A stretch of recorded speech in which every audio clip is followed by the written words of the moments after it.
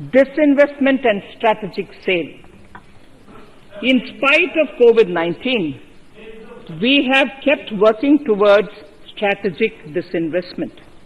A number of transactions, namely BPCL, Air India, Shipping Corporation of India, Container Corporation of India, IDBI Bank, Bharat uh, Earth Movers Limited, Pawan Hans, Neelachal Ispat Nigam Limited, among others, would be completed in 21-22. Other than IDBI Bank, we propose to take up the two public sector banks and one general insurance company in the year 21-22. This would require legislative amendments and I propose to introduce the amendments in this session itself. In 21-22, we would also bring the IPO of LIC, for which I am bringing the requisite amendments in this session itself. In the Atmanirbhar package, I had announced that we will come out with a policy of strategic disinvestment of public sector enterprises.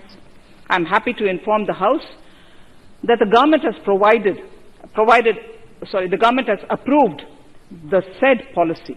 The policy provides a clear roadmap for disinvestment in all non-strategic and strategic sectors. We have kept four areas that are strategic, where bare minimum CPSEs will be maintained and rest privatized. In the remaining sectors of all CPSEs will be privatized. The main highlights of the policy are mentioned in Annexure 3. To fast forward the disinvestment policy, I'm asking NITI to work out uh, on the next list of center public sector companies that would be taken up for strategic disinvestment. To similarly incentivize states to take to disinvestment of their public sector companies, we will work out an incentive package of central funds to states. Idle assets will not contribute to Atmanirbhar Bharat. The non-core assets largely consist of surplus land with government ministries and departments and public sector enterprises.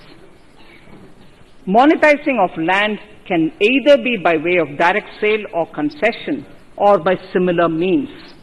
This requires special abilities and for this purpose I propose to use a special purpose vehicle in the form of a company that would carry out this activity.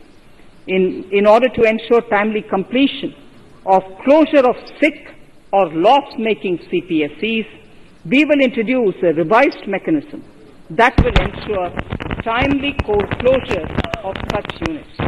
I have estimated 1,75,000 crores as receipts from disinvestment in BE 21-22.